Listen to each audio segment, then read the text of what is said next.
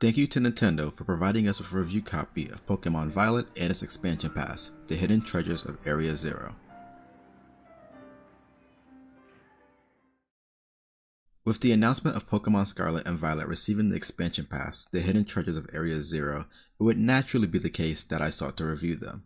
Over this period, as I was playing, taking notes, and the Pokemon Company revealed how expansive this DLC would be via its social media, we felt that it would be best to cover it all within one large video review, rather than two or three separate videos. Additionally, with so much passage of time, I thought it would be best to include how my view of Pokemon Violet as a whole has changed. Thus, while the beginning of this review includes the original Pokemon Violet review that was released in January of 2023, I would still encourage you to rewatch it to see how my opinion has changed as I do a greater look back on the main game later in the video. With that being said, let's head into Paldea one last time. Last year's announcement of Pokemon Scarlet and Violet left me weary, not just because of the trailer, but out of fear that Game Freak was wearing themselves out, alternating teams developing the games or not. But putting aside my concerns regarding the game's development cycles, let's get to the obvious. Pokemon Violet is the newest entry in the mainline Pokemon video game series. In fact, Scarlet and Violet mark the beginning of the multimedia juggernaut's ninth generation, and with them come a blend of familiar franchise aspects with new ones. Battle and train your Pokemon against wild Pokemon that roam the world, either by engaging in a battle or with the new Let's Go mechanic, allowing you to send your leading Pokemon forth as it attempts to knock out what's in its path on its own. Other Pokemon trainers are always eager for a battle, but now you can choose which ones to challenge by talking with them first. Locking eyes with strangers no longer instigates a fight. Most importantly, you'll experience the newly discovered Pokemon of the Paldea region, along with classics from prior generations. If you want to complete the Pokedex, you'll have plenty to do. Scarlet and Violet's biggest shakeup comes from how you progress across the region. Rather than travel from gym to gym, or wherever the story forces you to go, you get to choose which way your story plays out. Pokemon Violet features three storylines to focus on taking on the Gym Challenge in Pokemon League as ushered by your battle-crazed rival Nemona, taking on the Titan Pokemon within the region to uncover powerful herbs with your rude but passionate classmate Arven, or take on the delinquent Team Star and their bosses while led by a mysterious hacker. To specify, you're playing out the order in which you complete the story. In order to beat the game, you need to complete all three of these threads. But this freedom in how you approach them is really where Pokemon Violet shines. If you want to focus on the League, go ahead. If your interest lies with exploring, then you should seek out those powerful herds with Arven. That's how I went about playing the game. I didn't care for grinding along through another typical Pokemon experience. I wanted to enjoy my time exploring the new region and coming across any new Pokemon that I encountered as I ride on the back of Miraidon, one of Paldea's deities. However, once I decided to challenge the gyms and fight Team Star, I was severely underleveled and in control of Pokemon that no longer sought to listen. But that is what I like about Pokemon Scarlet and Violet the opportunity for vastly different experiences. This isn't yet another linear trek where the only meaningful variance amongst players are which Pokemon we stick on our teams. I do think this could go further, borrowing aspects from the anime and how each companion of Ash's had their own objectives. Perhaps mastering contests could lead to its own ending, but that's something to focus on in a separate video, not this review. There's plenty more to enjoy in Pokemon Violet thanks to the numerous additions and quality of life improvements. Instead of digging into your bag for potions and berries, the new auto healing feature will heal the selected Pokemon based upon what's already in your bag. Know where you want to go next? Set a destination marker on the map. Dynamaxing is gone as the new battle mechanic. Terastallize is present, allowing you to change the typing of any Pokemon based upon what its current Tera type is. Then there's a vastly improved online functionality, which allows you and three other people to play the entire game together. Regrettably, there are unfortunate drawbacks due to the other Pokemon game that was released within the same year, Pokemon Legends Arceus. It's very strange that this new title features elements that were introduced in Arceus, but don't carry the torch without stumbling. Shiny Pokemon are visible within the overworld, but as Pokemon can despawn, there isn't that heart stopping sound effect that informs a player when one is in the vicinity.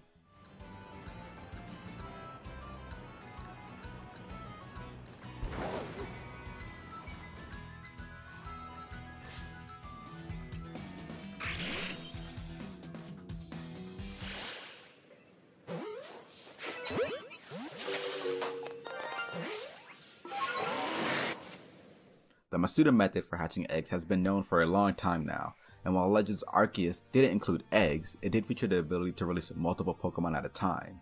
That's also gone. The massive amount of engagement between the world and the player in both games are spectacular, but the step back that Violet takes is by removing the ability for catching Pokemon outside of battle. which is a really strange omission given the addition of taking out Pokemon without necessarily battling them. Moving forward with the downsides, it's been about two months since Scarlet and Violet's release, and both the fans and Nintendo are aware of their unpolished, buggy state.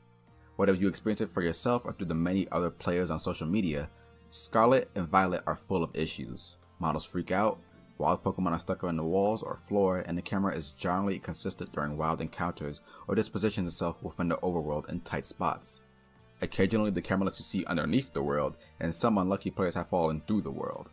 Oh, and Pokemon pop in and out of existence. Tera Pokemon disappear without reason if you come too close, you can walk right through your rival's home, people discover duplication glitches, the Elite Four music loops the first few seconds, and there's so much more that I can't remember or just haven't encountered myself. Out of all the Nintendo published games that I've seen people talk about so far, I've never seen a game released in this state.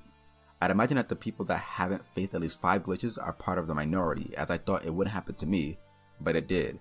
Several times. The glitches can be from a minor UI piece being stuck on the screen to the game hard crashing from playing together with friends, which again is the big new feature for this title. And it's truly a shame since Game Freak's passion for these games is palpable. So many of the new Pokemon designs are great, the bigger cutscenes feature a lot more movement and character, and being able to emote and play together with your friends is a treat. There is so much fun to be had with this game, and the more I play it, the more I like it.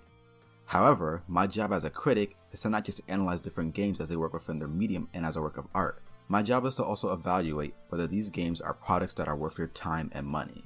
Even though two months have passed, I don't think Pokemon Scarlet and Violet are worthy of the spectacular sales numbers that it has achieved.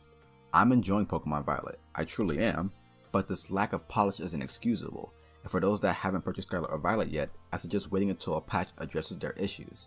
For those still looking to purchase one of them, wait for a discount. And regardless of how much fun there is to be found within Violet, I believe purchasing it or Scarlet sends a message to Nintendo that releasing games in such an unfinished state is acceptable. It is not.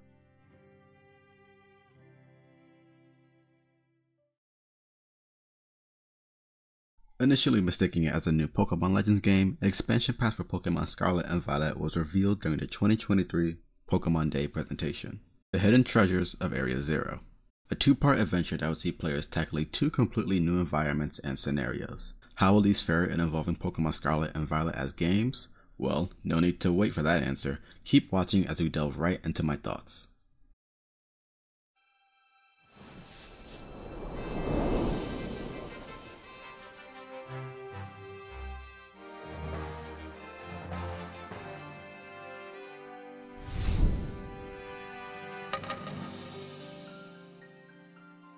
When Pokemon Scarlet and Violet came out, it came with a structural problem. In Game Freak's attempt to create a fully open world Pokemon experience, they inadvertently made a game that lacked any hard obstacles for players to overcome, when compared with prior games. Despite granting the player the choice of how they wanted their adventure to unfold, in my playthrough of Pokemon Violet, I never felt motivated to become the champion. I felt no incentive in universe to do so. Rather, it felt like it was just something that I would need to do if I wanted to say, I beat the game. This meant that when the game's first DLC dropped, The Hidden Treasures of Area Zero, Part 1, The Teal Mask, the only thing motivating me to play it was the game's narrative. The story of this DLC is that the player and several other students have been nominated to head over to the land of Kitakami on a joint field trip with Unova's Blueberry Academy. On this trip, their player meets Carmine and Kieran, two important rival characters.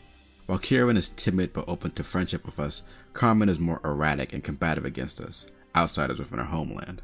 Despite her initial opposition, the game's main theme is around bringing together not just people of different backgrounds, but also those of different personalities. Thus, the player will have to work with these two as you travel around the lands of Kitakami, learn its folktales, and discover what exactly the Teal Mask is.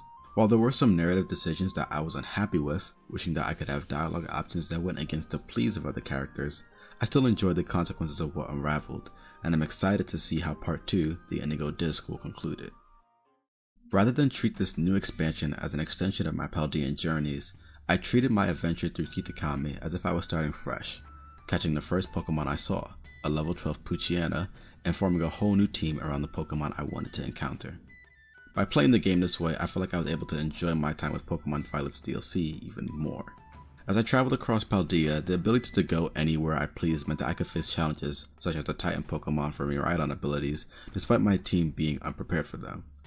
Thus, if there was something that I found interesting, the onus of being well equipped for such obstacles felt like it had to come from seeking out to grind and find my own lower level challenges, rather than Game Freak guiding the journey in such a direction. However, traveling across the smaller land of Kitakami and following just one rather linear goal made the adventure easier to digest and manage. With most of the surrounding trainers and wild Pokemon growing in strength as the narrative progressed, guiding the player throughout more of the land and against alligator battles, I felt better prepared for said challenges. Some grinding was still needed to stand a chance against Carmine, Kieran, and more as I didn't have the best team type advantage wise. But the grind was the one that saw me traveling towards an entirely different direction or goal, just a few levels and another attempt at a challenging battle. It felt like I was playing something akin to the previous titles. Granted, this challenge was self-imposed. If I were to use the Pokemon I raised from the base game, the only hurdle would be walking from place to place. This is where I hope the next part of the DLC, Part 2, the Indigo Disk, could leave me more entertained. The Teal Mask does very well at being a character-driven narrative, but as the player, I didn't feel much responsibility for my actions or that there was much for me to do. There was a minigame as part of Kitakami's festival, but outside of that, I was primarily walking from point to point and doing battles to progress things for the other characters and their relationships with one another. Was there anything I was doing for my benefit as a trainer or as a character within the world, especially with my freedom of choice? No, not really. Additionally, the one other blemish featured within the DLC is a prominent problem that existed within the main game, the graphical and optimization issues. With Pokemon Violet suffering several issues such as slowdown or the camera infrequently clipping through the terrain, and occasionally made traversing across the land feel like a tedious exercise. The island itself already didn't have any other engaging activities or many captivating environments to explore. So, the only fun to gain from traveling was to see what other Pokemon I could find rather than a way to find them. However, where the exception did excel presentation wise was the music. For both Carmine and Kieran's themes, I felt a sense of energy no matter how long the songs would loop throughout our long battles.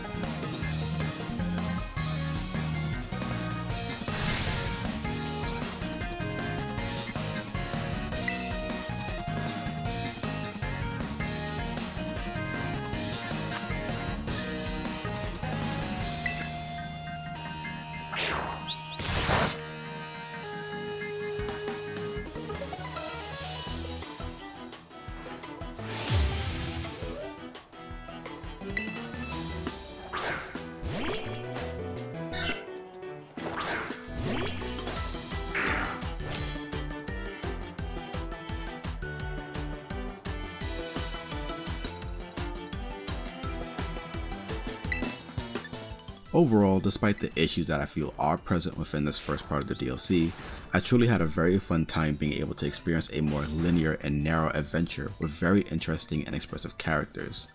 With the Teal Mask's ending, I hope that the story that Game Freak is building towards can not only lead to more engaging characters, but also a satisfying end. With gameplay footage that we've already seen of the Indigo Disk, it already looks like there will be much more to do. Whether it will be fun is to be discovered, once it releases on December 14th, 2023, which already happened, so let's just continue forward into talking about the Indigo Disk. But as a final word, if you are interested in more interesting characters being introduced within the world of Pokemon, I think purchasing Pokemon Violet's expansion pass is worth it for this alone. Unlike the expansion pass of Pokemon Sword and Shield, Pokemon Scarlet and Violet feature a connected story between Part 1, the Teal Mask, and Part 2, the Indigo Disk. Thus, I'll need to provide a brief synopsis of what happened at the end of Part 1. If you'd like to avoid spoilers, then it would be best, at this point, to experience the DLC for yourself and avoid the review for this part of the game, as well as the epilogue. Throughout your journey with Kieran, discovering the folktales of Kitakami, it is revealed that the band of three Pokemon thought to have protected the lands from a vicious ogre was not true. As explained to the player and Carmine by Kieran's grandfather, Ogerpon and the mask worn by it were attacked and stolen by the trio, with the villagers misunderstanding and believing that the trio fell aiming to protect Kitakami. Why is it only being told to us? Well, that's because on the night of Kitakami's festival, the player and Carmine ran into Ogerpon, and thanks to Big Sister over here, we decided to keep it a secret. However, this secret doesn't last for long, as Kieran overhears his grandpa's story. Skipping forward to the end of the Teal Mask story, Kieran completely loses his cool, with his sister quickly becoming friends with the visiting player, both keeping a secret from him, the player being stronger than him, and then also catching Ogerpon on top of that. Kieran has completely changed by the time it's time for us to return to Paldea. He has grown increasingly distant and is now vowing to grow stronger and stronger.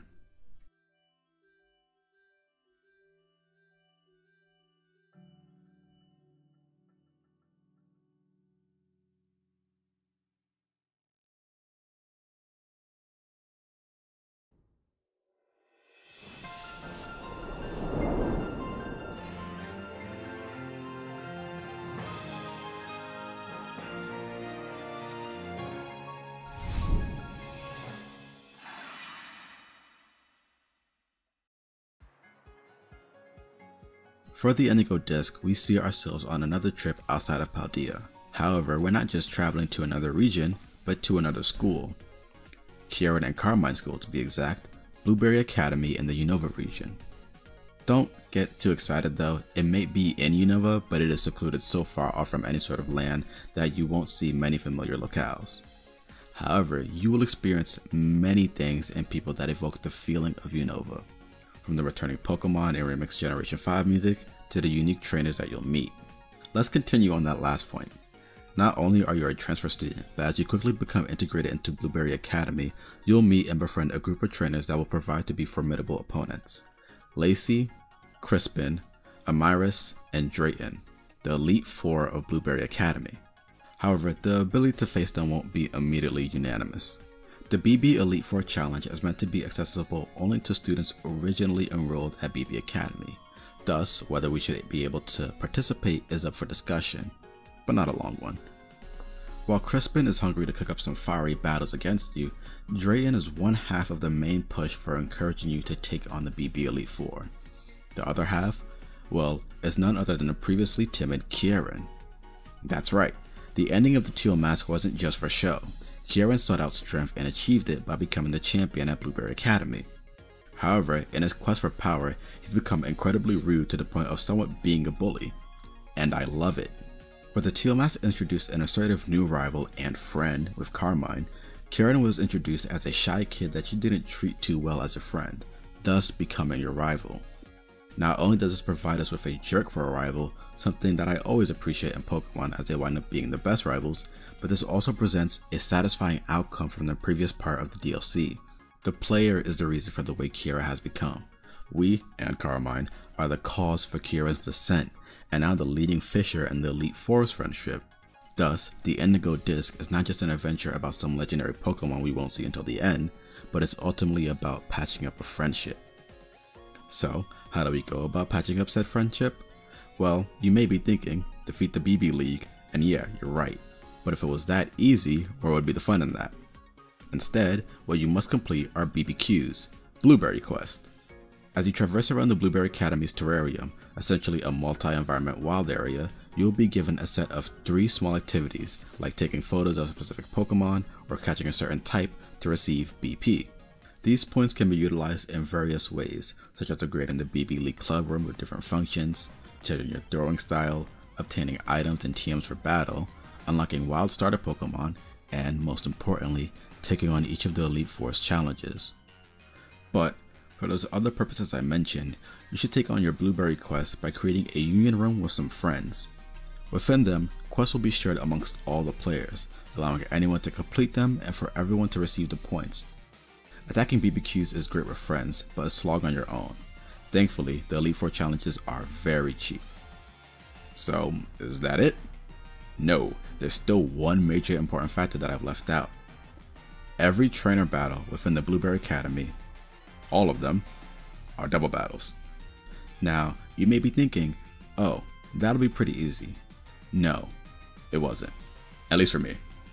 The Indigo Disk is incredibly difficult as trainers are high leveled and use strategies that take decent advantage of the double battle format. Maybe it was easy for some people, but I barely had Pokemon that worked well in double battles, let alone within the level 70s. Thus, I brought in some of my more competitive Pokemon that I had sitting in Pokemon Home.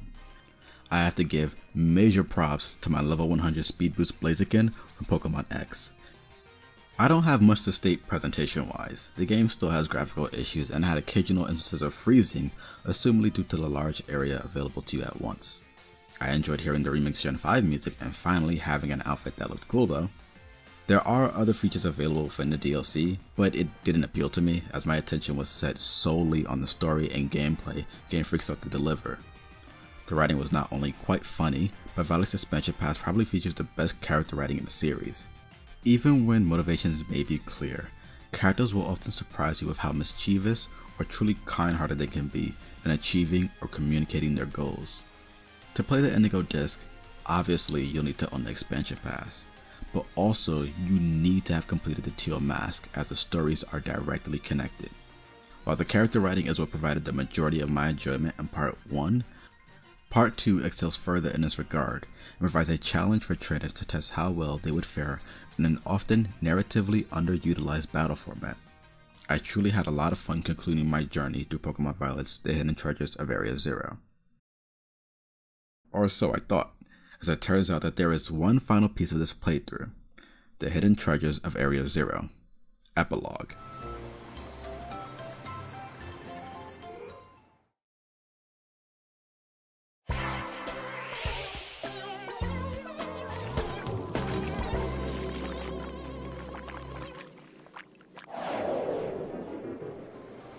As this narratively takes place as an ending, hence the name, I will be dancing around the major details and ending featured within the second half of the Indigo Disk. I'll state that the player and Kieran are on good terms with one another, but how that happened is an epic tale for you to experience on your own. Now, to execute the epilogue of the Hidden Treasures of Area Zero, two events must occur first. First, you need to obtain the Mystery Gift, the mysterious Pecha Berry via the internet. Second, You'll need to have defeated each of the gym leaders and participated in the ACE tournament idea as proposed by Nemona, Geeta, and Director Clavel. The second part was something that I didn't know was a requirement, so I tried to complete this task as fast as possible, rotating out my strongest Pokemon to quickly get past something that I really didn't want to do. However, as fast as the battles went, I genuinely enjoyed re-encountering and learning more about the personalities of the gym leaders. Tulip being my favorite, as she provided the biggest words of encouragement for myself as a Pokemon trainer and as a person. Once this is all done, you'll want to head to Peachy's store at the community center in Kitakami. Don't talk to the lady, what you do want to do is talk to the almost hard to notice purple decoration that's on her stand. This is what will trigger the story for the hidden treasure of Area Zero, the epilogue. To leave you with some mysteries that will encourage you to play the game yourself, I'll only share some of my thoughts and not explain the whole story. With amends made and the majority of plot concerns resolved, the epilogue takes a rather different approach in just being a gathering of friends attempting to spend some time together. The direction of the events that unfold end up being very ridiculous, probably the most comedic sequence in the series. Additionally, this epilogue also reignites the idea of mystery gift events, something that hasn't been fully utilized since, to my memory, the Keldeo event with Pokemon Black and White. However, at the same time, to access this you need to spend $35 for the expansion pass. As it's a package deal, the only way to encounter this part of the story is by doing everything else Pokemon Violet has to offer in its story first. Furthermore, Although an expiration date isn't listed, it'd probably be best for the mystical Pecha Berry to be included as part of the expansion pass inherently.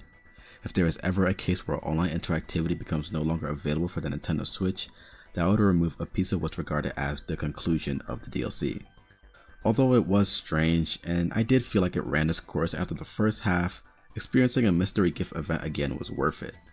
I hope that this can be something that Game Freak continues to reincorporate back into the series but hopefully not something you have to pay a lot for. In fact, due to preservation concerns, perhaps it would just be best to incorporate more secrets within the game itself that truly lead players to exploration and worthwhile surprises.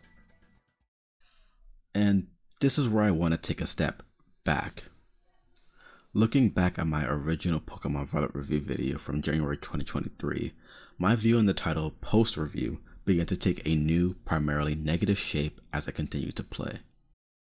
In my original review, I showcased great appreciation for the amount of freedom that Game Freak allowed and the difference of playthroughs that will be experienced amongst players.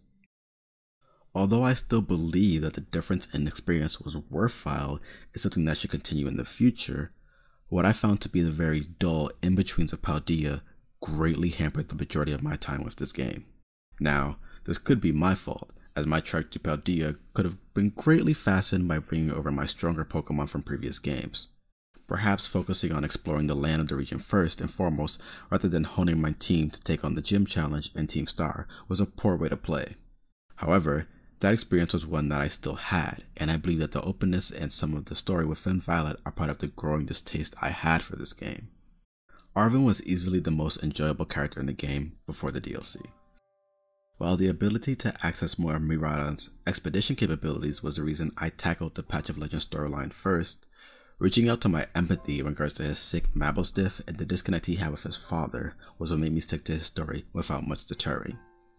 But Tackling his storyline first and foremost, even while underleveled, left me with not much more to explore and just consistent trainer battles that I ended up simultaneously not being prepared for and uninterested in. As my favorite franchise that I spent so much of my life vested into, I've never felt more uninterested in doing the things that I usually do in a Pokemon game.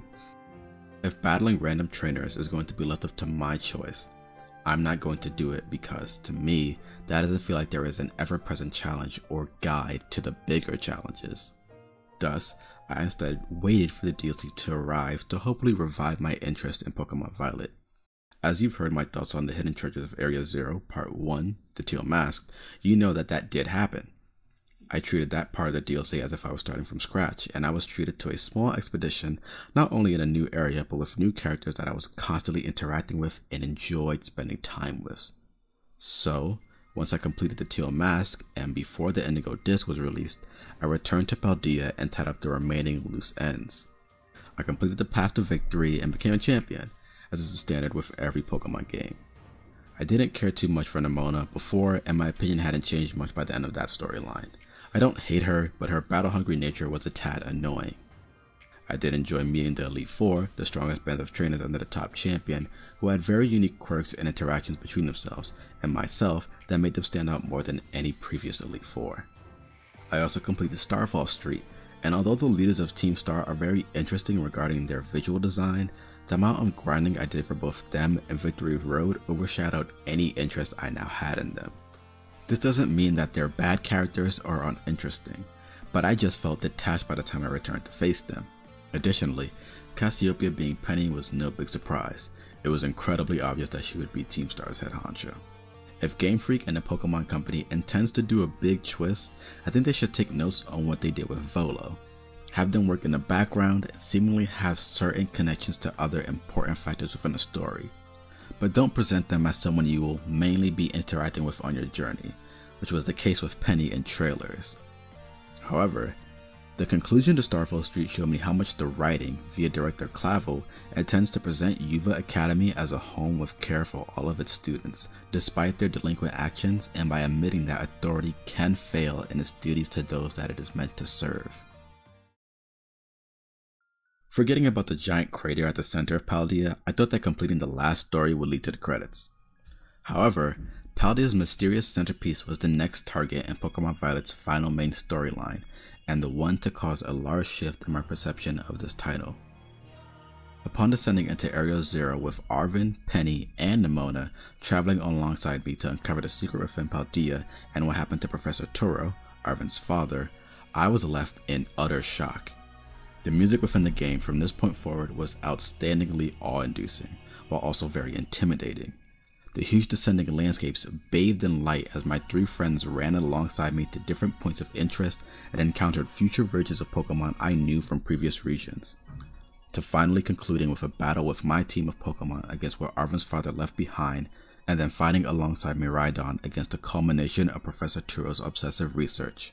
Finally, after getting through all of the visual glitches that played this game, and still do, overcoming the grindfest that I, in a way, had put myself on the path of. After getting past the parts of the story that I no longer had much of an inkling of care of, I finally found myself having pure, unquestioned excitement and fun with Pokemon Violet. I felt like I could finally praise this game for delivering what was probably the best endgame and writing within a Pokemon game, showcasing the damages and severity of the failures that come with obsessive ideals or infatuations, as previously presented within Pokemon Sun and Moon and Pokemon Black and White, which are my two favorite games within the franchise story wise. Does this make Pokemon Violet a great game? In my eyes, no. Despite the amount of appreciation and love that I have for the character writing featured within this title, I am far from saying Pokemon Violet is a good game. If the rest of the game was as engaging and intriguing as Area Zero was, perhaps I would say such is the case. However, the reality was still that half of my experience with this title was bathed with distaste, playing for the sake of playing, and the entire game, even after a year, is plagued with poor optimization, graphical issues, glitches, and questionable decisions. I would prefer if Game Freak scaled back from open world games and kept to a more linear or hybrid format a la Pokemon Legends Arceus. However, I can say that Pokemon Violet is a title that, despite all of its issues, presents some of Game Freak's best efforts and still succeeds at touching the player's heart by the game's end and beyond. If you are a person that has not yet purchased Pokemon Violet, I would say you should. If you can find it on sale, that's always the best way to go. Save your money, you may need it for whatever reason. But this is a game that Pokemon fans should experience, despite all of its glaring issues.